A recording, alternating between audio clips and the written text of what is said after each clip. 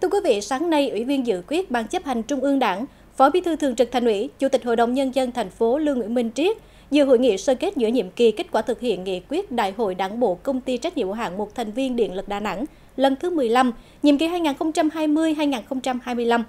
Từ đầu nhiệm kỳ cho đến nay, Đảng bộ cơ sở công ty trách nhiệm hữu hạn một thành viên Điện lực Đà Nẵng đã lãnh đạo chỉ đạo thực hiện tốt công tác xây dựng Đảng, thực hiện nhiệm vụ chính trị đạt nhiều kết quả nổi bật. Nửa đầu nhiệm kỳ này, Đảng bộ công ty đã kết nạp được 26 đảng viên, đạt 65% nghị quyết nhiệm kỳ đề ra. Công tác xây dựng, củng cố, tổ chức cơ sở đảng và xây dựng đội ngũ đảng viên được thực hiện nghiêm túc, công tác sinh hoạt đảng được thực hiện theo đúng điều lệ đảng và hướng dẫn của đảng ủy cấp trên.